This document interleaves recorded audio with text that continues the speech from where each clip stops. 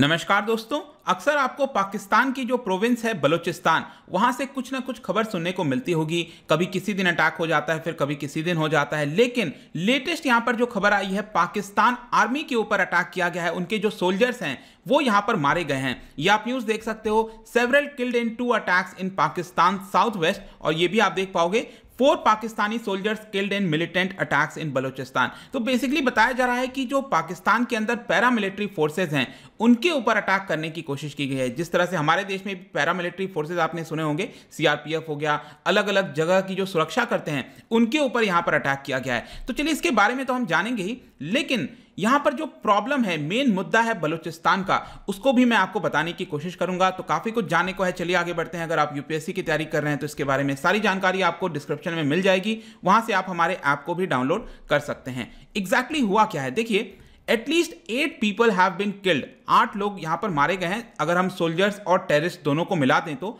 और यहाँ पर पंद्रह लोग इंजर्ड हुए हैं, ऐसा बताया जा रहा है। दो अटैक्स किए गए हैं बलूचिस्तान के अंदर। और बताया जा रहा है कि बहुत ही जल्द इमरान खान वहाँ पर विज़िट करने वाले थे और उसके पहले एक संकेत देने की कोशिश की जा रही है उनके विज़िट के जस्ट पहले जो है। और ये जो दो अटैक हैं, ये मैं पहले आपको मैप में दिखा देता हूँ। एक हुआ है जो बलूचिस्तान की राजधानी है कैपिटल है क्वेता और दूसरा वहाँ पर एक छोटा सा टाउन है टुरबत यहाँ पर आप एग्जैक्टली exactly मैप में देख सकते हो। ये अलग अलग प्रोविंस आपको दिख रहे होंगे, जैसे कि वहाँ पर पेशा जो खैबर पख्तनख्वा है, ये आपका प्रोविंस हो गया। पंजाब ये प्रोविंस हो गया, जिसकी कैपिटल लाहौर है। वैसे यहाँ पर सिंध है, इसकी कैपिटल कराची है। तो इसका जो सबसे बड़ा प्रोविंस है पाकिस्तान का, ये आप देख पाओगे, ये है बलूचिस्तान। और इसकी जो कैपिटल है, वो आपको अफ़गानिस्तान के पास मिलेगी क्वेता ठीक है? तो एक तो अटैक क्वेटा के जस्ट बाहर हुआ है और यहाँ पर एक और छोटा सा जगह है इसके सदर्न साइड में, यहाँ पर आपको देखने को मिलेगा। आप राइट साइड में देख सकते हो तुरबत। ये छोटा सा टाउन है, वहाँ पर अटैक किया गया है। तो अगर हम पहले अटैक की बात करें, जो फ़र्स्ट इंसिडेंट हुआ, वहाँ पर क्या था? एक चेक पॉइंट था, जहाँ पर पैरामिलिट्री फोर्स वहाँ की जो है F C troops that is frontier corps troops जो है, वो तैनात थी।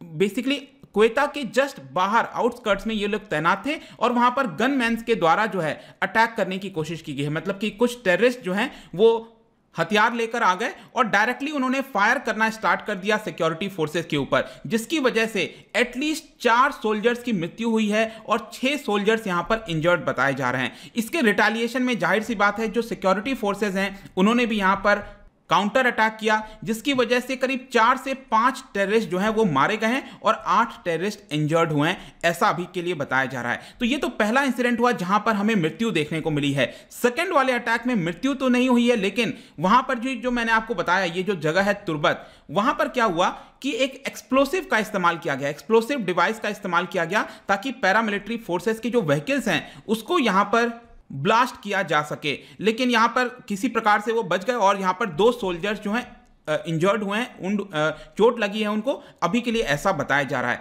और जो पाकिस्तान की मिलिट्री है, अब आपको समझना है, जब भी कुछ बलूचिस्तान के अंदर होगा तो ज़्यादातर आपको देखने को मिलेगा कि उनके द्वारा ये बताया जाता है कि जो भारत की इंटेलिजेंस एजेंसीज हैं, उनके द्वारा कहीं ना कहीं बलूचिस्तान के अंदर अटैक कराया गया होगा। क्योंकि यहाँ पर अक्सर खबर आती रहती है कि जो रॉ है, भारत की जो इंटेलिजेंस सर्विसेज़ हैं, वो यहाँ पर बलूचिस्तान के अंदर जो रेबल्स हैं उनकी मदद से जो अटैक्स हैं वो कराने की कोशिश करते हैं ऐसा उनके द्वारा बताया गया है पाकिस्तान मिलिट्री के द्वारा। लेकिन अगर हम एक्चुअल में बात करें तो वहाँ पर बहुत सारे सेपरेटिस्ट हैं जो चाहते हैं कि बलूचिस्तान को एक अलग जो जो देश है उसका दर्जा मिले वो अप, अपना एक अलग देश चाहते हैं। तो वहाँ पर सबसे पहले सुनने को आता है जिसका नाम है बलोच लिबरेशन आर्मी बीएलए उनकी काफ़ी लंबे समय से मांग रही है कि इसको आज़ाद किया जाए। जो पूरा बलूचिस्तान अगर आप देखोगे तो काफ़ी ज़्यादा कम पॉपुलेशन लीस्ट पॉपुलेशन आपको देखने को मिलेगा। और डेवलपमेंट के मामले में भी बहुत ज़्यादा मतलब पाकिस्तान के द्वारा उधर ध्यान नहीं दिया जाता, जिसकी वजह से धीरे धीरे अभी तक अगर आप देखिए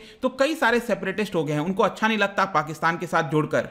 और इसी की वजह से ये वाला भी जो अटैक है, वो आपका बलोच लिबरेशन आर्मी के द्वारा क्लेम किया गया है। उन्होंने क्लेम किया है इस रिस्पॉन्सिबिलिटी को और कहा है कि आगे भविष्य में भी फ्यूचर में भी हम ये इस तरह के अटैक्स को जारी रखेंगे।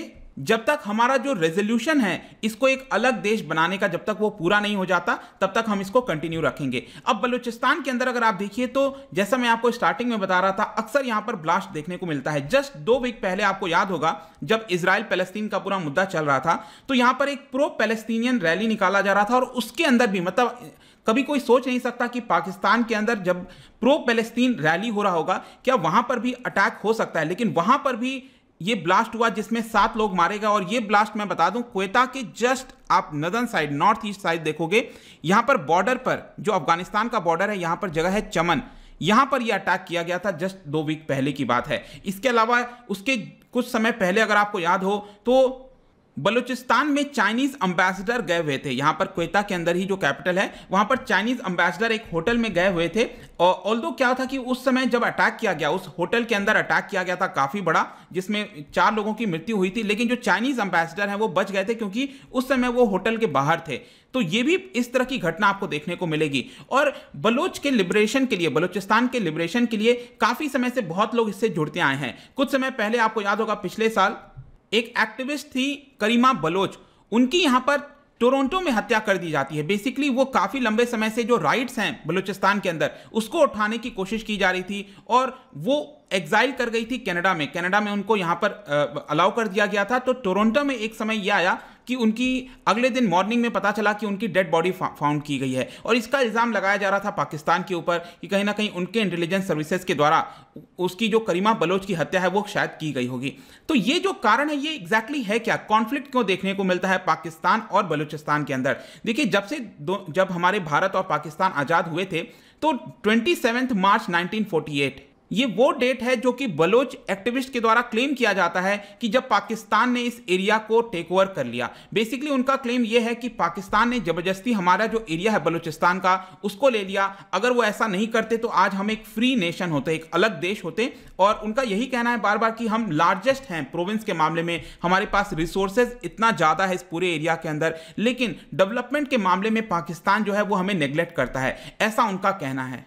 और इसी की वजह से अलग अलग प्रकार के जो इंसर्जेंट ग्रुप्स हैं, वो उभरते आए हैं। इनफैक्ट रिसेंटली काफ़ी ज़्यादा सुनने को आता है, आपने सुना होगा पाकिस्तान तालिबान के बारे में। जो अफ़गानिस्तान के अंदर तालिबान है, उसी से कुछ रिलेटेड पाकिस्तान तालिबान भी आपको देखने को मिलेगा। लेकिन जो सबसे मोस्ट प्रोमिनेंट है, जिन्होंने इस अटैक को भी क्लेम किया है वह है आपका बलूचिस्तान लिबरेशन आर्मी और इनके द्वारा पिछले कुछ वर्ष में अगर आप देखिए तो बहुत सारे टेरर अटैक्स किए गए हैं। फाइनली लेकर जिसको देखकर जो पाकिस्तान गवर्नमेंट है, उन्होंने इनको टेररिस्ट ब्रांड कर दिया है। कह दिया है कि ये टेररिस्ट हैं। इसके अलावा एक और मैं आपको एंगल दिखाता हूँ। यहाँ पर सीपैक प्रोजेक्ट के बारे में आपने सुना होगा चाइना पाकिस्तान इकोनॉमिक कॉरिडोर पहले ये इस तरह से इसका रूट जाना था, लेकिन आगे चलकर इसको चेंज कर दिया गया। आप देख सकते हो, इस्लामाबाद, लाहौर और फिर आपका जो बलूचिस्तान का एरिया, आप देखिए, काफ़ी बड़ा एरिया ये कवर करता है। यहाँ पर अगर आप देखोगे, फिर आगे चलकर कोस्टल रीजन से होते हुए काफ़ी लंबा एरिया ये कवर करता है और फाइनली एंड होता है ग्वादर पोर्ट तक।